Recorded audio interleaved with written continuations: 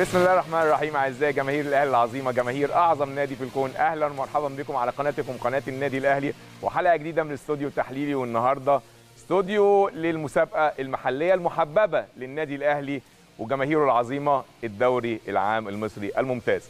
ماتش النهارده مباراة النادي الأهلي أمام الجونة في الجولة ال21 من الدوري الممتاز. علشان بس ما يختلطش علينا الأمر إحنا قلنا الأستوديو اللي فات لازم النادي الأهلي يكسب المؤجلات لأن المؤجلات دي مرتبطة بنتائج الدور الأول. ال- الماتشات اللي إحنا بنلعبها الفترة ديت ملهاش دعوة بالمؤجلات. يعني الماتش اللي فات كان في الأسبوع العشرين اللي هو الأسبوع الطبيعي اللي بنلعبه دلوقتي. الماتش اللي بعده اللي هو النهارده في الأسبوع ال21 دي مباراة مش مؤجلة دي مباراة من الدور الثاني المؤجلات اللي هي تابعة للدور الأول الماتشين اللي فات والنهاردة مش تبعهم خالص. إحنا بنتكلم لما كنا بنتكلم إن نتائج الدور الأول احتمال تبقى مرتبطة بعض الشيء بالمشاركة في البطولات الإفريقية لأن إحنا بنخلص الله أعلم هنخلص إمتى؟ احتمال في سبتمبر. فهيكون ال الوقت اللي إحنا بنبلغ فيه أو اتحاد الكره بيبلغ فيه الأندية اللي هتشترك في بطولات إفريقيا هيكون الوقت عدى والدوري شغال. فهتتاخد نتائج الدور الأول. الماتشين دول اللي فات والنهارده مش تابعين للدور الأول.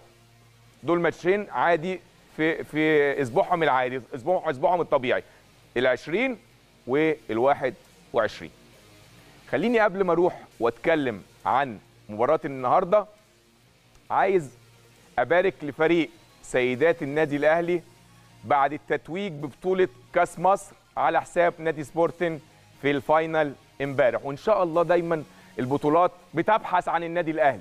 وإن شاء الله البطولات تتواصل للنادي الأهلي. عايز برضو تحية تقدير وشكر لفريق كرة السلة للنادي الأهلي على المجهود اللي بذله السنة دي.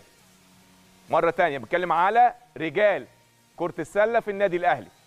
رجال كرة السلة في النادي الأهلي المباراة الأخيرة في كأس مصر قدام الاتحاد السكندري. والاتحاد السكندري معقل من معاقل كرة السلة في مصر طول عمره.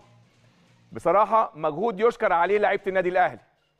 كانش فيه توفيق حظ أفضل إن شاء الله البطولات اللي جاية ولكن هم عملوا اللي عليهم وأدوا ولكن النتيجة راحت لفريق نادي الاتحاد اللي بنبارك له وبنبارك لجمهوره على الفوز بكاس مصر في كرة السلة على حساب النادي الأهلي وبنبارك للحاج محمد مصلحي رئيس النادي.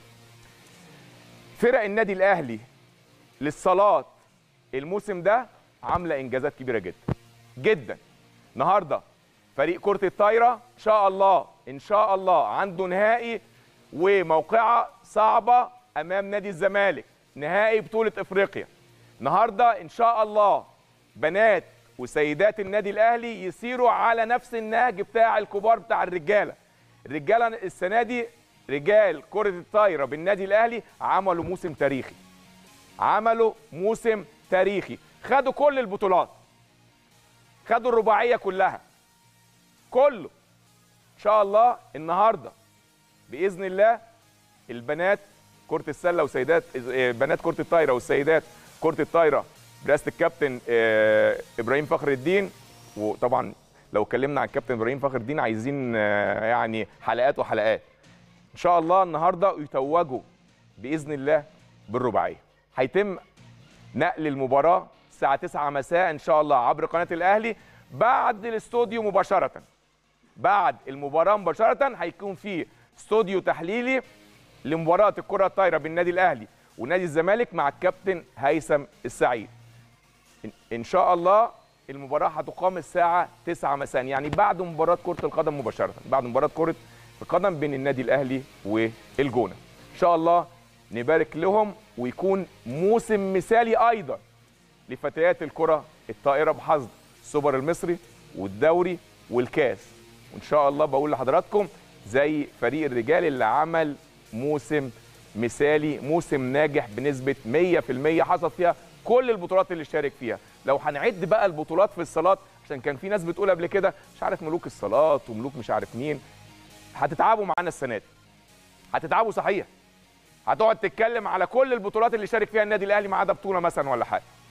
كل ألعاب الصالات النادي الأهلي حصد السنة دي ما يزيد عن 16 بطولة. 16 بطولة. والمنافس أو 19 بطولة. 19 بطولة. والمنافس حتى الآن بينافس. بينافس. والناس تقول لك إيه؟ البعض يعني من من الفريق المنافس يقول لك إن إحنا الأفضل.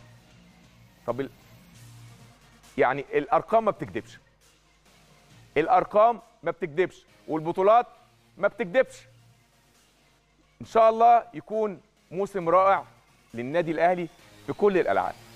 في كل الألعاب. بما فيهم كرة القدم اللي إحنا قريبين من بطولة دوري أبطال إفريقيا هي القريبة مننا دلوقتي.